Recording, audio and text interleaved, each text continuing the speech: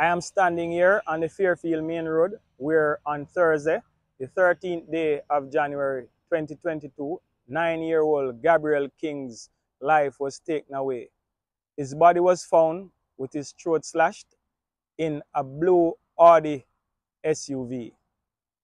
Since that time, the team of investigators, they have employed a range of technological, forensic, and cyber strategies in attempting to make a breakthrough in this case.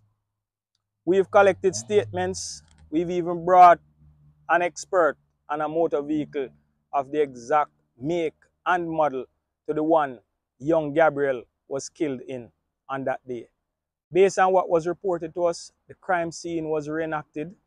Several case conferences were conducted by the detectives Earlier on this year, my detectives made an application for a production order pursuant to Section 21 of the Cyber Crimes Act for the mother of the deceased to give permission to have access to her cell phone.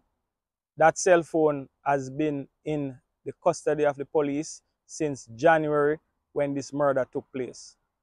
On the 6th of September 2022, the production order was granted by the parish judge, stating that within 48 hours of the service of the order that the key and communication cell site and other data surrounding the phone be handed over for the purpose of the criminal investigation into the murder of Gabriel King.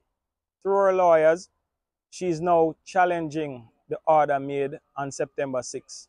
This key aspect of the investigation is sub judice, and as such, I will refrain from discussing that aspect at this time. Investigations are time sensitive and the shelf life of some forms of evidence is limited. We were able to close a thousand case in three weeks through hard work, cooperation, and support from our citizens and persons close to the investigation. I would say that from the day of this murder,